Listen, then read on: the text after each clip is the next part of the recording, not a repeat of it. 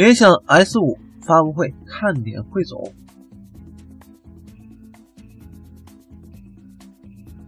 近日，联想官方已经正式对外宣布，将于三月二十日召开新品发布会。今天，联想官方微博再次发布了联想 S 五的倒计时海报，并提到了新机支持智慧美拍，为用户带来全方位的精彩。近年来，手机成像技术发展迅猛，从两百万到两千万，从单摄到双摄。再加上智能美颜技术不断优化，手机凭借着越来越好的成像和便捷性，成功的将数码相机送上了历史的车轮。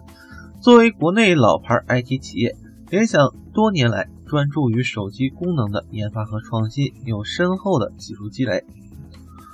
此次联想官微放出的海报可以看出，联想 S5 前置相机和后置双摄都支持智慧美拍。前后都精彩。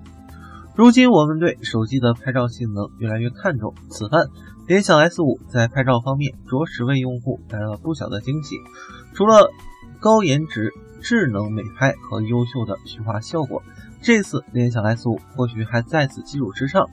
拥有像素聚变，四颗像素可以智能组合为2.0微米的大像素颗粒，具有更强的感光度。拍出的照片更加清晰，而这一点从长城前段时间的微博当中也能得到印证。相机方面，综合各方爆料消息，联想 S5 可能会采用前置一千六百万像素、后置双一千三百万像素摄像头组合，运行基于安卓八点零的 ZUI 操作系统，对拍照性能进行诸多方面的优化。